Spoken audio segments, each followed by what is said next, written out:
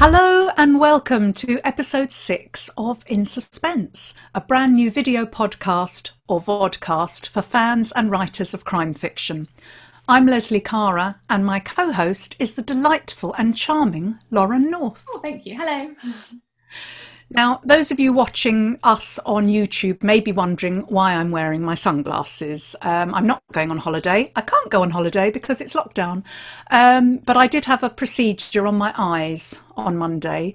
It's it was called oh no let me think what it was called bilateral selective laser trabeculoplasty or SLT for short. It's a mouthful. it's a bit of a mouthful, yeah. And it's um, it, it, it's a treatment for glaucoma because I was diagnosed with primary open angle glaucoma. So yes, it's all been all been a fun couple of weeks. Um, so that's that's. I mean, it's it all went well and it's fine, but my eyes are a little bit sensitive to light at the moment. So I'm just trying to protect them and to protect the viewers from my from my red eyes, really. So uh, yeah, so it's been a it's been a tricky couple of weeks because my dad's still poorly, and um, I've had this diagnosis and been running around looking after him and worrying about him and my mum as well. So, but here we are. Life life goes on, and the show must go on. Yes.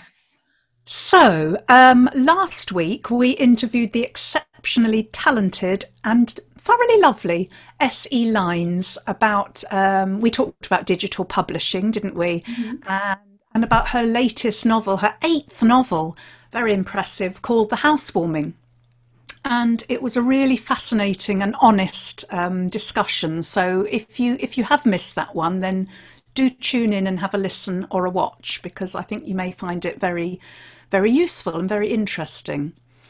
And um, so now, Laurie, gosh, can you believe that this is the last episode in season one? I can't believe it, can you? No, I absolutely can't believe it. I really thought by this stage I wouldn't feel quite so nervous and feel like I was wittering on and talking too fast. But um, no, alas, I still feel exactly like that. Um, it has been such a huge learning curve um, and a fun one. And I know that you and I are both really grateful for all the support that we've had um, on social media and for those people who have tuned in fortnightly to hear us um, wittering and chatting. Um, we have just had such an amazing lineup of guests for series one and just so interesting our topics. Um, and we chatted on Saturday, didn't we, about um, our series two lineup? Uh, and I'm really excited about that. That's happening in January, and um, I just can't can't wait.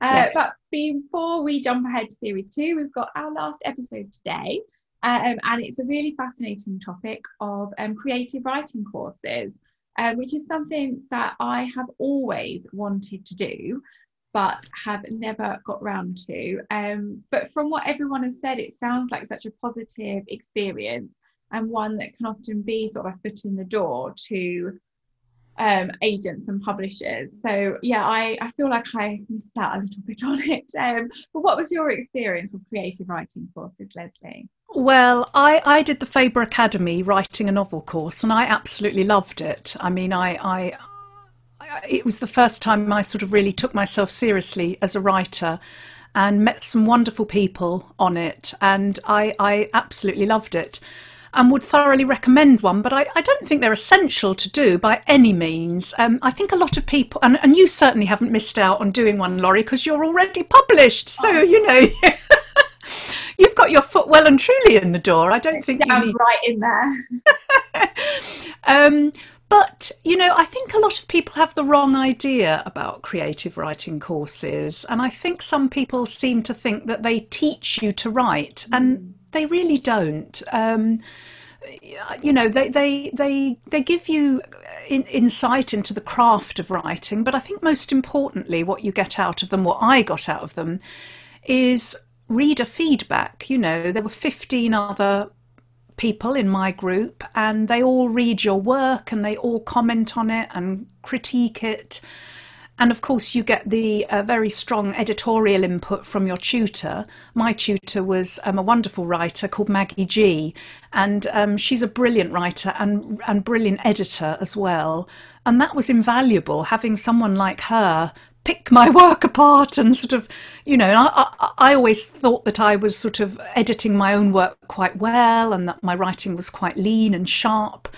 But she always sort of found places to cut. yeah. and she was absolutely right when I read it back with the cuts that she'd recommended. Um, it, it was so much better. Um, I, I, it always amuses me actually when I get um, reviews. I don't know if you, you know, when you get a, a, funny review on Amazon or Goodreads, and someone says something like, um, "This." I've got to read you this one because it just it creases me up. It's not a very good review. Oh. I think it oh. was a one star, and it was it was about the rumor. And this person, I won't name them, has written, apparently the writer's been on a creative writing course. And that's what this is something you might write if you were on a creative writing course. But that doesn't mean it should be published. Don't believe the hype or the blurb on the cover or the positive reviews. This is mostly dreadful. Oh. God help us all if she goes on another creative writing course. Oh my God oh awful. That's so awful. It's oh, horrible, isn't it?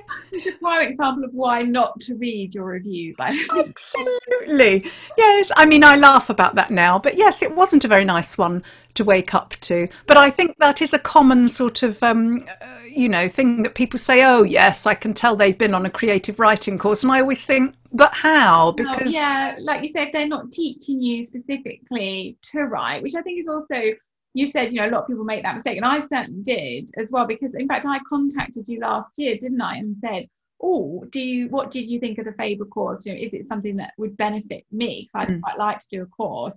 And you were just like, "No, you've written a book now. You've got your foot in the door. Don't, yeah. don't worry." Um, I mean, I I think they're great and they're they're fun and you you you know as I say you have all this feedback and you meet industry professionals um, and if you can afford to do one and you want to do one then I would thoroughly recommend them. But I don't think they're essential you know. Um, we'll probably talk about that more in in the episode won't we that we're, we're, we're coming on to. But um, you know I, I don't think they're absolutely essential by any means but um, but they're fun and they're they're worthwhile if if you can afford to do them because they're they're quite pricey, aren't they? Yeah, they are. And I had a quick look just before um, we've come on today, um, and yeah, the Faber one where you sort of have face to face, you go to London. That's four thousand pounds, um, and there's an online version which is two thousand five hundred. Mm. Um, the Curtis Brown ones are a little bit um, cheaper, depending on which whether you go for the three months or the six months, but they still range in price from about 1500 to 2500 pounds. And I think you're right. It, it, it's about taking yourself seriously enough to that to have that investment. And I think when I wanted to do one, um, the children were so young, and my husband was working away five days a week, and I just I didn't feel like I could one justify the money or the time I think for it. Um, so yeah, I, I, feel like I missed missed the boat completely. But um, like you say, I'm all right. So. You managed, didn't you? You got there. yeah, yeah I mean, they are pricey, and I, I mean, I remember I had to take out an overdraft really to to afford the fees. Um, I don't regret it at all because um, you know I, I I think for me it was a great turning point, and I think that if if you're struggling to sort of take yourself seriously or to you know to to to believe in yourself, then they can be a really worthwhile thing to do. If if you know for nothing less than sort of um, meeting other writers really and and finding a tribe of people. Yeah. Yeah. Because I still keep in touch with a lot of the people who were on my course and the tutors and and that you know their support and help has been invaluable really so i you know i wouldn't i wouldn't ever put anyone off doing doing one far from it no. i would always recommend them but i wouldn't say if you can't afford it or you can't afford the time or the money then don't despair because that you know you can get there another way you don't need you don't yeah. need one yeah but um, our guest today is um, is also a creative writing um, alumna. I think it's alumna, isn't it? When oh, you're it? A... oh, so that's great because I thought it was alumni, so I would have embarrassed myself. So that's... well, no, I mean I don't suppose either of us learnt Latin. I certainly didn't at Molsham Comprehensive. Or any language. no, I think it's alumni is plural, alumna. Anyway, I'll, we'll leave the Latin for um, other people. Um, yes, yeah, so um, Uh, our, our guest this this week is Karen Hamilton, who also did the Faber Academy course. So we can't wait to speak to Karen in a little while. So, welcome, Karen Hamilton, to In Suspense. Uh, we're so grateful for you to um, you've given up your time to be here. So, I'll start by um, saying a little bit about you, if that's okay. Uh, yeah, so thank you so much for having me. Sorry, I'm, I'm very excited. Sorry, I jumped oh, in there. Great, no, it's brilliant. Um, so, Karen, you are a recent graduate of the Faber Academy and now a Sunday Times bestseller with a debut novel, The Perfect Girlfriend, which was released in May 2018 and translated into multiple languages. Your second novel, The Last Wife, came out in hardback and ebook in June 2020 and in paperback on the te- is out on paperback on the 10th of December, so it's not very long to wait. Not very long, um, no. I've got a copy behind me and I can't you. wait to dive in. Um, having listened to an excerpt during the virtual noir at the bar that we both did, uh, yes, I'm really looking right. forward to reading it. Um, so, do you, you want to start by telling us a little bit about the novel? Thank you. Thanks very much. Um, the Last Wife is the story of a woman named Marie, and Marie is a very loyal person. She likes to think of herself as a really good friend and um, when her her closest friend, who she's grown up with, passes away, Marie takes it upon herself um, to take over the life of her best friend. She doesn't mean to to start off with, but she just can't help herself because she knows there's no one who's quite as good as her who can who can step into that role. But as she does so, she gets more and more trapped within this life and she realizes that she didn't know her friend quite as well as she thought she did. Wow. It's a it's a great book, Karen. I read it. I think I read it. Was it the end of last yes, year or the beginning yes, of this year? Thank you so much. And what I loved about it was that it well, it was so twisted, and every single character has a sort of dark side, don't they? And, and secrets. And um, I loved the sort of complex layers, the, all the different relationships and uh, yeah, I, I, absolutely loved it. And I was I was wondering really what inspired you to write that book because I, I, well, I was wondering whether you were one of these writers who come up with an idea and um, and immediately know what you're going to write, or whether you play around with different ideas and sort of um, work out what would what, what would have legs. Really, I love that question because everyone does it differently, slightly differently, don't they? So it, it always really intrigues me how other how other people do it. Um, for me, it's it, a character comes to me. I don't have any idea of a story or, or what's going to happen. I just normally get an idea, and I'm always, I never really, really, really know whether to admit this, but I've admitted it now, so I, I'll continue to do so. I get this feeling about a character when I think of something that's some, something they really shouldn't do that. I think, no, no, that is so uncomfortable and so against what we all believe is right and true. And when I start to feel like that, then I that's when I get really excited about the character and I think, okay, what are they going to do? How are they going to do it? And how are they going to justify what they do. And that's what i really enjoy doing ju- creating these characters who justify decisions that the rest of us would say if it was our friend. Really? You really you're really going to do that? And um and then the, the plot sort of develops around that. I put them somewhere. With with the last wife actually it was um I was joining, I was setting up a book group with a friend of mine in my village because I used to be cabin crew and I always wanted to be part of a book group, but it wasn't possible because my, my working patterns were very varied. And so we decided to do this. So I just Googled book groups just to see if there was anything that people generally did. And I got involved in reading all these stories about all these book groups that had gone wrong or or that were very sort of competitive or, or there was one woman who was too scared to leave. I think she'd moved house. I don't know if it was just to do with the book group, but she really felt entrapped. And I just thought I had this image of Marie trying to join, you know, not only take over her friend's life, but sort of also taking over her book group, which seems like quite a personal thing. Mm. And it, it, just grew from there, really. Oh, that's fascinating. And I, I, read somewhere that you have a real interest in psychotherapy and that you do something called, is it characters, characters on the couch? Yes, Can you tell us a little yes. bit about that? Yes, it was actually um, a friend of mine, Nicci Cloke, who also writes under Phoebe Locke. We were having a chat one day, and um, she introduced me to the service as Characters on the Couch, which is run by a psychotherapist called um, Arabelle Charloff. And she, I haven't pronounced her name properly, sorry, Arabelle, but um, she um, also teaches at the Faber Academy.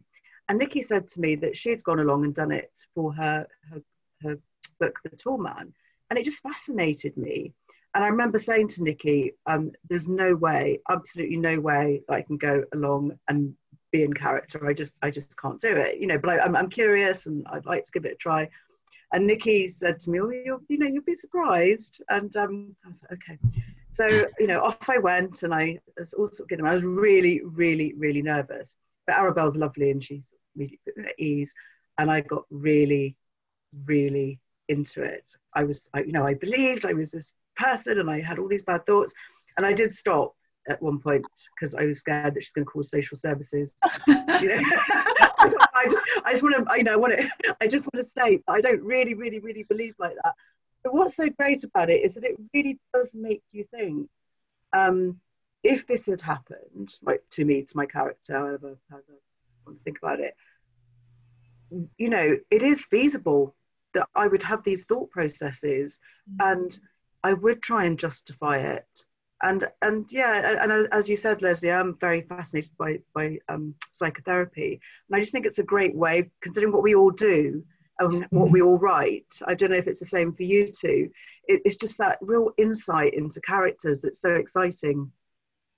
Yeah, it all, it all, just sounds so fascinating. I, I am really looking forward to um, your book, Karen. Um, I haven't got around to it just yet, but I, it's on Thank my you. list. Um, no, well, I've, I've got yours. I've got yours, and also because I've, I've read, I've got Leslie's. So when, when, I see you guys in real life, I'm going to get you to sign them because I'm, you know, we all can't wait for that, can we? We've no, no, we definitely all can't. Can't wait. wait. um, I definitely love what you're saying about putting a characters in that uncomfortable situation, mm. and definitely like taking over someone's life in that way. Just but even to start with, you're like, why are you doing this? Yes. So, yeah, like, please don't, please yes. don't. I quite often think when I'm writing, like, please don't do this because it's so not what we would do. no, that's what makes a great read, isn't it? When Catherine, because in real life that happens as well. You're like, what are you doing? So yeah, yeah please don't, please don't. yes, um, so you mentioned the Faber Academy already, actually. So um, could you tell us, because um, that's our topic today, creative writing, um, could you tell us uh, a little bit about um, what made you sign up for the Faber course when you did, um, and why you chose that course over others like it? Yeah, it's interesting, isn't it? Because they've become they've they've increased in popularity, and when I was looking, I realised that my flying career, which I absolutely loved um, was coming to an end. I'd had my third son and it was getting harder and harder for me to go away. It wasn't just childcare. I, I didn't feel comfortable because I did long haul um, going away. And um, I'd always wanted to be a writer. And I'd been dabbling, I would say, for a number of years. And I, I'd got to a point where I'd started going to literary festivals and I started to learn that, you know, it was a good idea to perhaps if, if you could um, get an agent or starting to learn a tiny bit more about publishing. Because when I first started writing, I don't know if it's the same for you two, I had no idea, no idea. There's just this whole world that you start, I don't know if it's the same for you two, that you start to learn about. And it's interesting. And I'd got to a point, so um, I was, I, I, I was redundant. I, so I'd given up my job and I had a small amount of redundancy money. And um, I spoke to my husband about it and I thought about what will I do? And what will I retrain in? And um, I looked online. I was going to do an online course to start off with because I didn't think with childcare and everything that I would be able to do mm-hmm. it. But then my in-laws said that they'd be able to help out when my husband wasn't around to, to take care of the kids, and it just felt like the right time to do it. So I was very fortunate to have this money because obviously it's a gamble. It's not like I was going to get a qualification as such. Mm-hmm. Um, so you know, without the support of my family, I, I couldn't have done it and um, and I forgot to factor in the train fares as well, which was good anyway, that's you know that all worked out, and um, I just remember it. It was fascinating just to be with like-minded people and and and to learn things that I'd never considered. and it was also I joined a local creative writing group um, before while I was still flying, but to actually have my work critiqued by so many other people, and that's when I started to realise as well if if common themes come up, that's the areas that need working on, and that was mm. fascinating for me. Yeah, that's what I found. I did the Faber Academy course as well, and uh, as you know, and, and, and it's that sort of having having that critique and having other people read your work. Um, that's the that's the main thing, isn't it? Getting getting readers to to actually and, and like-minded readers. They don't have to be experts because anyone has a valid opinion on whether a book works or not. And so having fifteen other people giving you yeah. their impressions of your work is just invaluable, isn't it? Yes. Um, one one of the big selling points, I think, of those courses is the the chance to pitch your work to agents at the end. You know that sort of ceremony you have at the end where you it's quite nerve wracking, isn't it? It where was really nerve wracking. Your work to an audience of agents. I mean and I know a lot of students do get their agents that way. Mm. It, that didn't happen for me that way. I had to wait quite a bit longer, uh, you know, a couple, few years after the course. Mm. Um, is that how you got your agent from pitching at the at the event at the end? It is, yes, yes. I had um, tried um, to to find an agent for years, and um, once I started to, to learn about it, and I'd gone to three festivals, and I had one to one sessions, mm. and mm. I'd been asked for a full manuscript a few times um, for a different book, and that had never led to anywhere.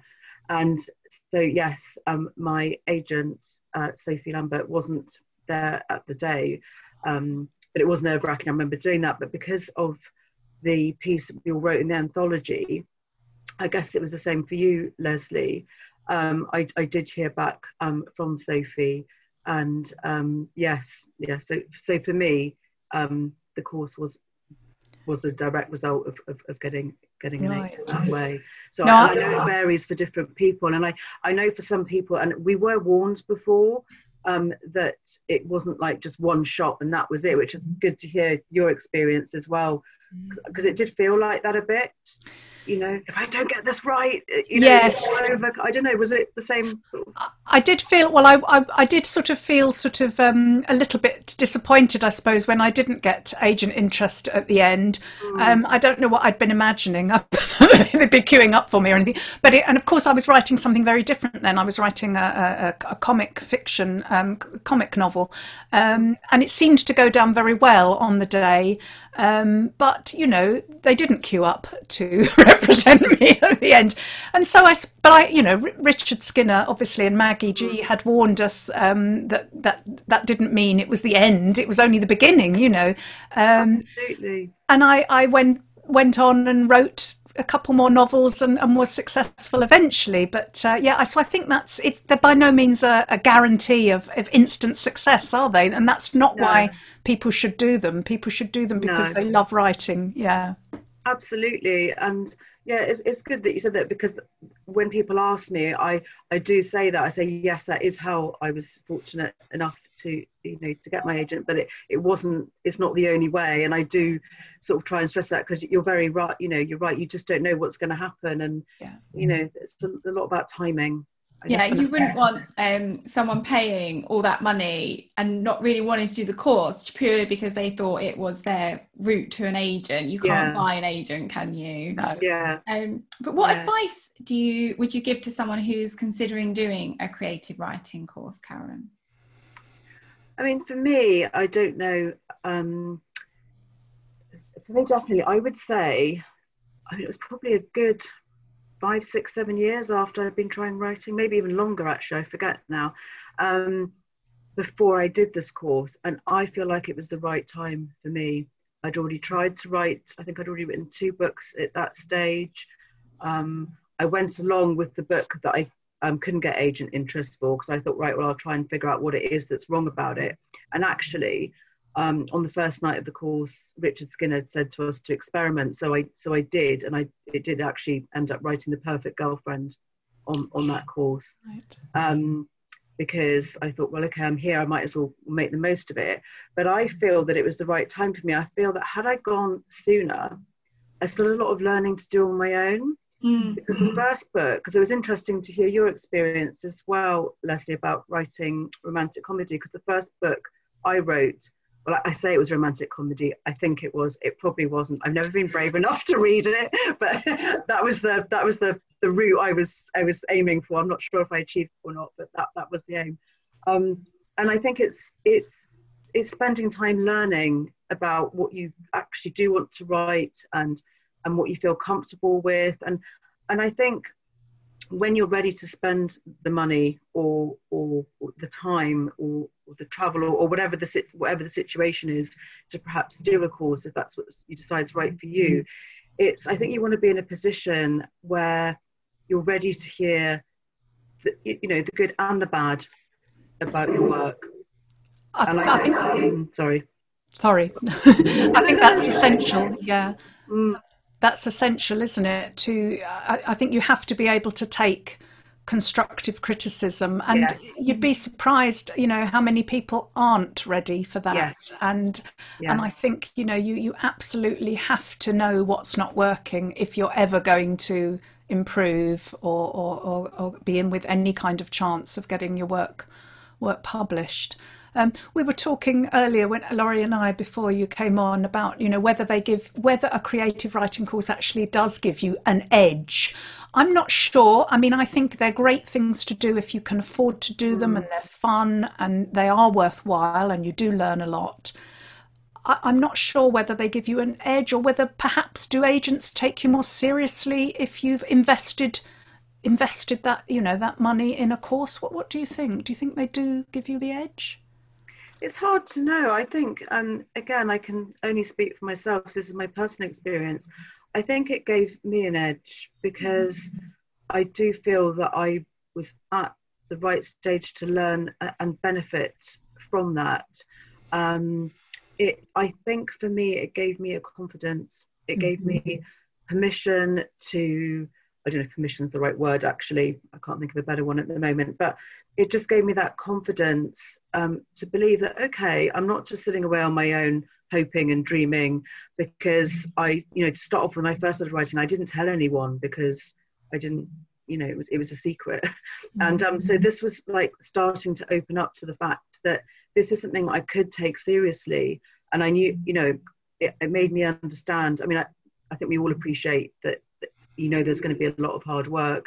You know that there's going to be a lot of um, rejection and, and and ups and downs. But it's it was building the foundations for me. And i think that just gave me a confidence um, yeah. that, that perhaps in my situation helped. I mean again i, I don't know. Um, that's just how i feel about doing the course. For me it, it was a massive a massive benefit. And i'm glad that that i chose to do it. But it, I, but I agree with you, Lesley we don't know, do we? And if, no. if, if you're not in a position to be able to do that, it, it, would be disheartening, I think, to think that it was the only way. And um, I know, you know, I've heard I've heard good things about doing it online and and finding like like-minded people to share stuff with. Yes. Um, so yeah, it varies, think, doesn't it? I think if you, you know, if, if, people are listening and want to do one, I think if you can't afford to do one of these courses, the next best thing you can do is join a writing group or mm. start your own writing group and look look for other people who are really serious about writing novels and getting published because ultimately the most important thing you need is the critique, isn't it? And the yes. the readers. So, you know, that uh, if if you can't afford to do a course, then for goodness sake join a writing group. That's what I would say anyway. Yeah, and I, I, it is certainly the case that you definitely don't need to do one. Um, and I'm I'm prime example. There are lots of authors that haven't. Um, I think it's like you say, it's such a great opportunity if you're ready and if you want to take it. Um, and it's really interesting what you were saying about um, um, the perfect girlfriend. Almost forgot the title of your first. Oh no, don't worry. I'm glad it's not just me that does that. yeah, my head. I start saying um, names or things, I start to get a bit like, oh, please don't say it wrong. did you not have like that idea, or was the idea there when you w- went to the first lesson of the course, or was it something that you sort of you hadn't started writing it then before the course? I had started writing it oh. actually, but I was very intent on getting this book that I've never got published. I was sort of focused solely on that. So I'd started writing The Perfect Girlfriend, um, in the third person. So I think I can't actually remember, but I think maybe I'd written maybe a third, a quarter Oh, of it. But I knew that this character wasn't a very nice person. And my children were very young at the time, so my life was very um, wheels on the bus. It was all very, uh, yeah. It was it was very, it was a complete contrast to my my personal life. So I think perhaps I didn't have the confidence to kind of go there and create a really awful character. You know, this this very damaged, very this character that people would be scared of and, and not like. And I remember on the course when we were talking about tense, and um, I suddenly thought about perhaps trying to write the perfect girlfriend. I mean, it wasn't called that then, but um, write this character, of Juliet is the main character, the perfect girlfriend, in the first person. So I went off, and for my first presentation, which is what you do at the Faber Academy, you um, you present. I think it was about three thousand words or something. Yes.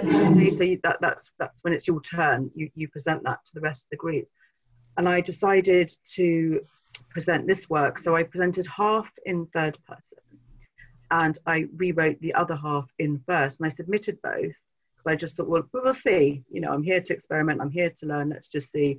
And the feedback I got was unbelievable. Everybody said to me, and even some people contacted me before and said, I'm reading this and Juliet just comes alive. I'm getting goosebumps actually because I remember how kind and encouraging everyone was. Oh, Um, yeah, that you know she comes alive in the first person, and that was it. That's that's kind of you know for me, and I think that's when I talk about the confidence. You know that the fact that people weren't saying right, we don't want anything to do with you anymore because really we, we we meeting you and this person she's not very nice, and that it, it was yeah it, it went from there. So if that's something else I can say that I gained from the course, it, it was that. amazing. Um, and talking of books, um, what are you reading at the moment, Karen? You reading anything good? I'm reading something really good. I'm reading Elly Griffiths' The Stranger Diaries, and it's Ooh. absolutely yeah. I'm I'm nearly finished, and it's brilliant. It's really um yeah. I'm, I'm hooked. I'm hooked. Yeah. If I wasn't Okay. working, I'd be sneaking a read in the day. I love those kind of books. I've heard good things about that one. What about you? yeah. What are you reading? Well, I'm reading um, really interesting glaucoma a guide. No. I, uh, the pace isn't brilliant in that one, but um, Of course, of course. Are you listening? needs Have you some work, have you got does it? audiobook on the go instead? But I've um, well, I, I've got this this I haven't started just this yet. The hit list by Holly. Is it Holly, Holly Seddon? Seddon, yeah. And I can't wait to read that.